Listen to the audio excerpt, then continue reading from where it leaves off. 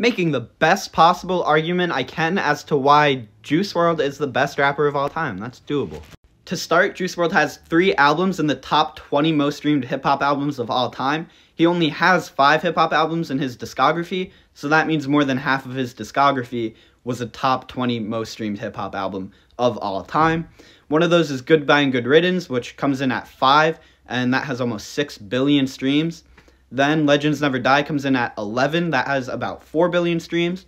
And then Death Race for Love has 3 billion streams, coming in at 16.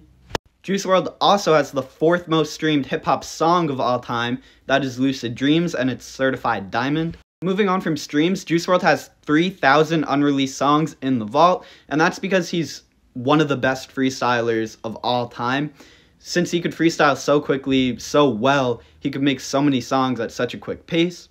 And finally, to close it out, the artist with the most platinum certificates of all time, not just rappers, but any musician, is Elvis Presley with 82. And in just eight years, Juice WRLD was able to get a little more than half of that with 46 platinum certificates. And that is why Juice WRLD is the best rapper of all time.